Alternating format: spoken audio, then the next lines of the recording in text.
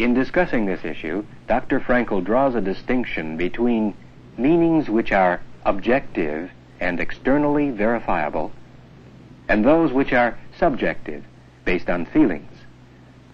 According to Dr. Frankl, only subjective meaning is found in the drug-induced experience.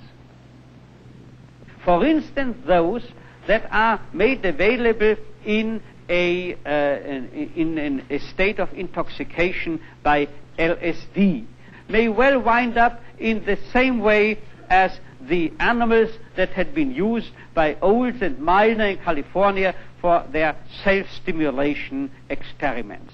That is to say, they inserted electrodes into the deeper centers of the brain of rats, and whenever the electrical current was closed, evidently these animals experienced something such as sexual orgasm or else the satisfaction of taking in food. And now the animals learned to jump on the lever, thereby closing the electric circuit and thereby providing themselves with these feelings of orgasm or uh, other uh, forms of satisfaction. Then they became addicted to this business. They did so up to 50,000 times a day. And the remarkable thing now is that these animals that could provide themselves by this, by electricity with the mere feeling of orgasm or other satisfactions, no longer cared for the real partners, sexual partners offered to them, and no, and totally neglected the real food that had been offered to them. Once you take in LSD, suddenly the whole world uh, takes on uh, infinite meaningfulness.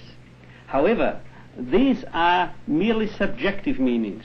I would say these are feelings of meaningfulness rather than true, than real meanings.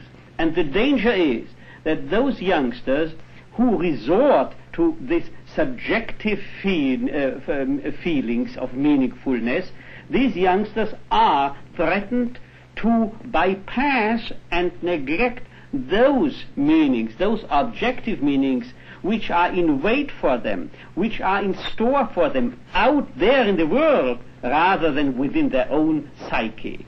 Caught, caught in the existential vacuum, in the existential despair, in the despair over the apparent meaninglessness of life, they resort to subjective meanings and then neglect the objective meanings that are still available but neglected by them.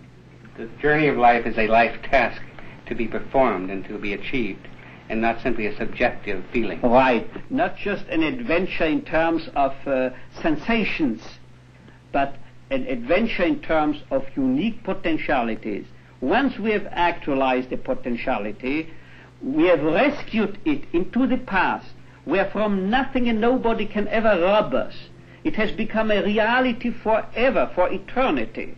But the same also holds if we have neglected and bypassed it, then the potentiality not having been actualized is past forever, is lost forever. This constitutes our uh, uh infinite responsibleness. Of course, nobody is uh, capable of fully actualizing each and every potentiality and thereby he becomes, in a certain sense, in an existential sense, he becomes guilty. However, this guilt belongs to the condition, to the human condition, is inescapable, and we have to confess to our fallibility. This is no nothing to hinder us from going on to actualize values and fulfill meanings, but it is a warning not to let pass the transitory potentialities what is transitory is only the potentialities. But once we have actualized them, we have actualized them forever. We have rescued them into an eternal reality, as it were.